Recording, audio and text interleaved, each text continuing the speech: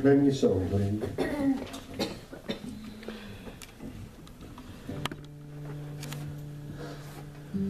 Maybe you're here this morning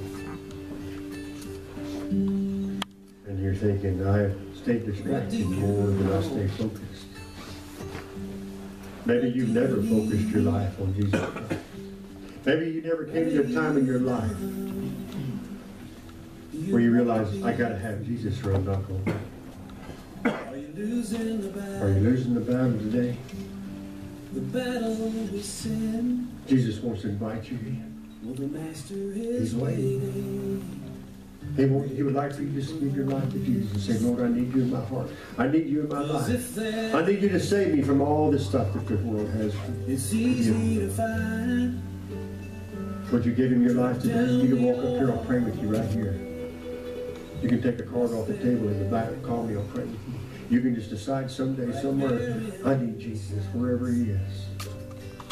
Because wherever you are is where he wants you to find him. He's waiting. He's waiting to come in. So would you make that decision today? Would you make that choice that you need Jesus? He wants to fill you up. He wants to begin to do things in your life that you just can't believe. If you just give him Stand right beside you. The Master's waiting, You know the master is waiting to come in. Would you let him in today? Would you give him that chance? Anybody else?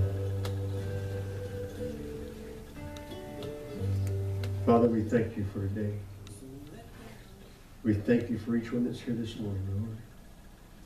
We thank you, Lord, as, as you come to this place and you bless us all. Lord, we thank you how you bless us on a daily basis, and we give you praise and glory for all that you do. Bless each one that's here this morning, Lord. Lead them into your life. And we thank you for that opportunity in Jesus' name. Amen. Let's all stand.